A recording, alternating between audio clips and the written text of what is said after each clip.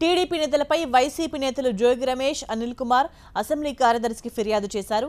స్పీకర్పై లోకేష్ అచ్చెన్నాయుడు కూన రవిలు అనుచిత వ్యాఖ్యలు చేశారంటూ ఫిర్యాదులో పేర్కొన్నారు.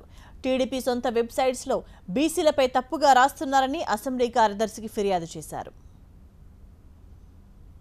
స్పీకర్ వ్యవస్థని స్పీకర్ స్థానాన్ని తమ్మినేని సీతారామ గారిని వ్యక్తిగతంగా ఆయన్ని విమర్శిస్తూ ఆయన్ని సభ్య సమాజం తలదించుకునే విధంగా సమాజంలో మాట్లాడకూడనటువంటి మాటల్ని మాట్లాడుతూ వాళ్ళ పేపర్ ఈ పేపర్లో తెలుగుదేశం వెబ్సైట్లో స్పీకర్ గారి మీద అనుచిత వ్యాఖ్యలు చేసిన లోకేష్ని అచ్చెమనాయుడిని రవికుమార్ని.